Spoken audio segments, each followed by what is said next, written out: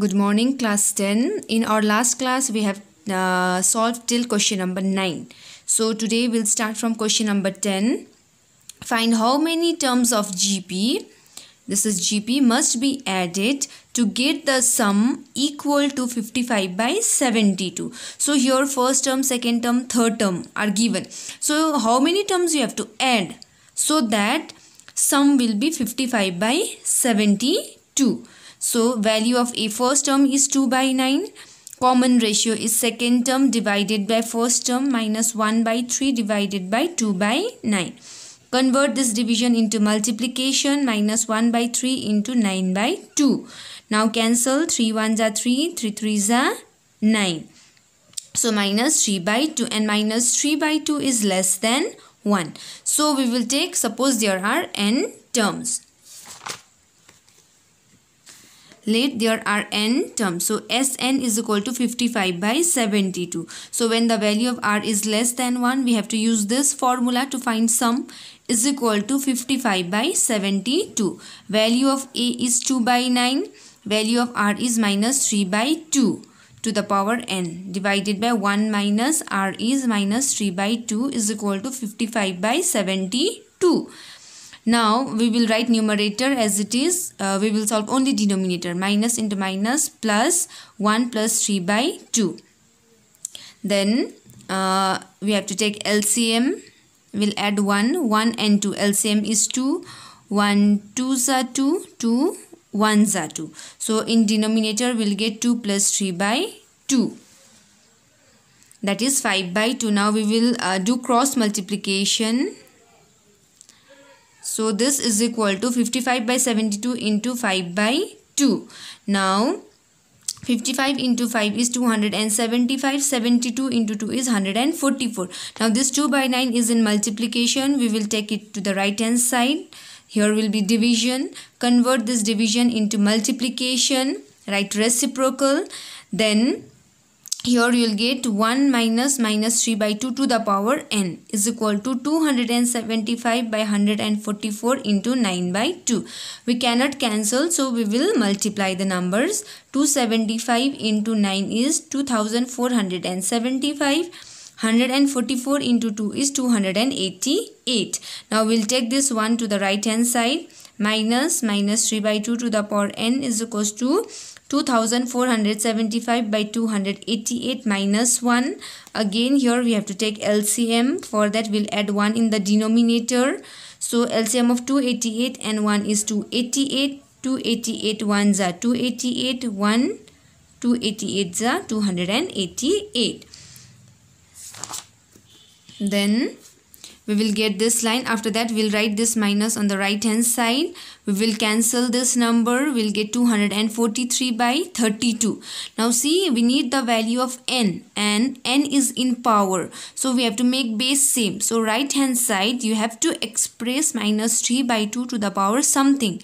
So 243 if you find factors you'll get 3 to the power 5 Similarly, if you find the factors of 32, you'll get 2 to the power 5. So this minus, we can write minus 3 by 2 to the power 5. We got same base powers are equal. So n is equal to 5. So 5 terms must be added. Question number 11.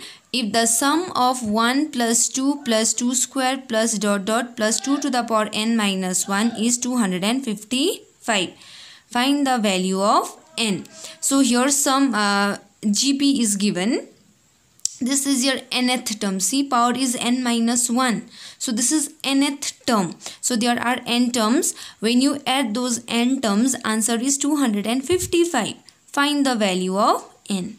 Here a is 1, r is 2 divided by 1 is equal to 2 value of r is greater than 1 so sum is given 255 so when the value of r is greater than 1 you have to use this formula after that put value of one, uh, a and r then we'll get 2 to the power n minus 1 divided by 2 minus 1 is 1 is equal to 255.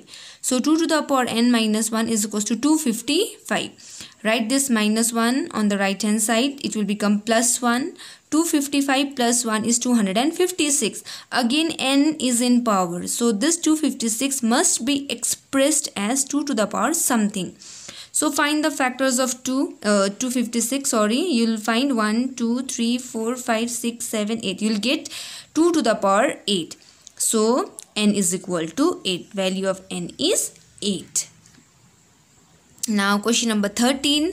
The sum of three numbers in GP is 39 by 10 and their product is 1. Find the numbers. So in GP, three numbers you have to consider. First, second, third. When you add those three terms, you'll get 39 by 10 and when you multiply them, you'll get 1.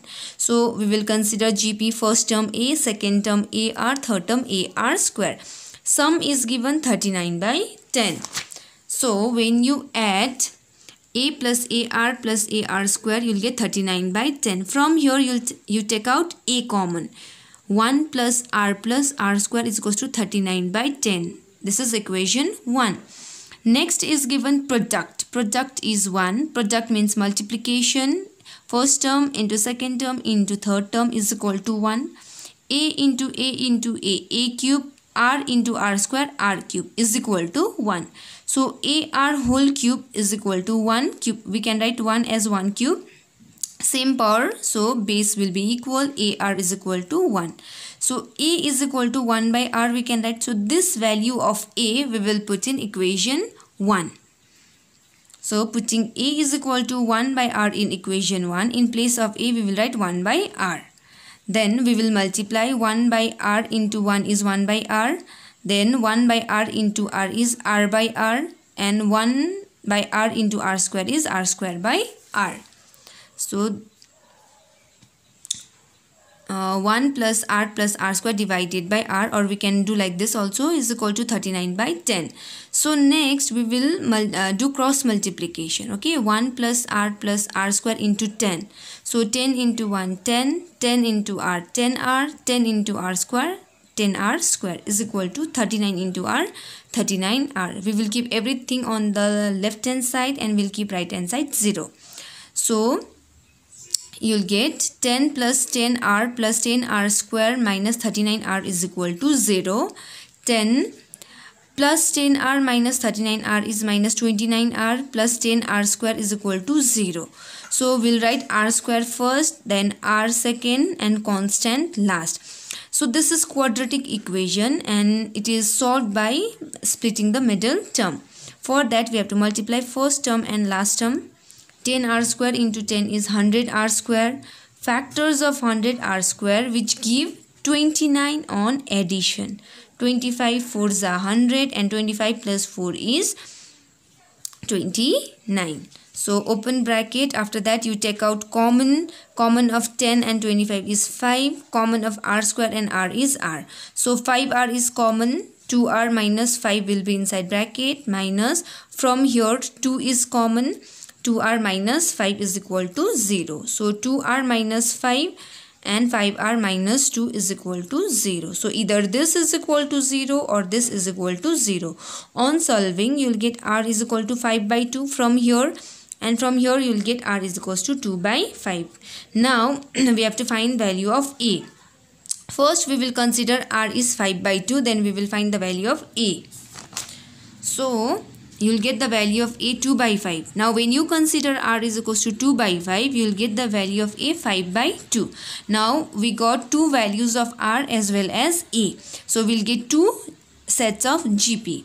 So GP first we will consider a is 2 by 5 and r is 5 by 2. We'll get this one GP. Now when you consider a is 5 by 2 and r is 2 by 5, you'll get this one as answer.